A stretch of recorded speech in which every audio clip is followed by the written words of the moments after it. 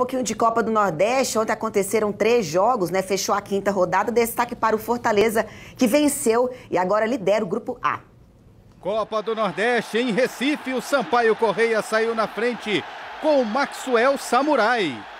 Hereda empatou para o Náutico.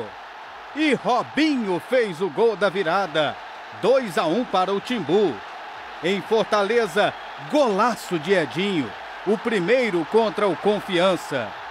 E depois, Júnior Santos balançou a rede três vezes.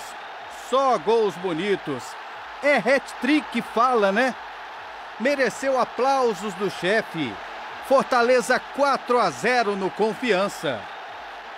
Em Maceió teve clássico. O CSA criou as melhores chances contra o CRB, mas o jogo ficou mesmo no 0 a 0.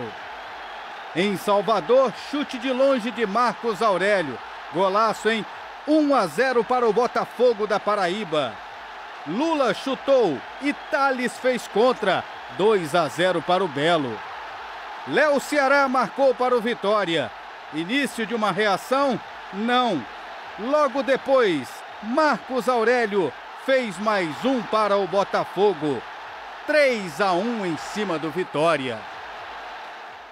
Então tá aí, sem dificuldades e com o hat-trick do Júnior Santos, assim foi a vitória do Fortaleza, que agora lidera o Grupo A. E que nove moderno é esse, né? O Júnior Santos, André? É, achou o substituto do Gustavo? Pelo jeito sim, né? Três gols em um jogo, um jogaço, gols bonitos, jogando bem, atropelou e o Fortaleza venceu é, pela Copa do Nordeste. É, lembrando aí que ele tem oito gols na temporada, não fez base e só é jogador profissional há um ano. Que isso, hein? Começo promissor. Talento, hein? É, e, e, e é um jogador de qualidade. É, dá dá para notar nos gols que ele, que ele faz, perna esquerda, perna direita, cabeça. Então, centroavante completo. Então, um achado e tanto da equipe do Fortaleza. Ó, parabéns. Recebeu, recebeu parabéns aí, né? Palmas pa aí Parabéns pro, aí do chefe, né? Parabéns chef. aí do Rogério Ceni, treinador do Fortaleza.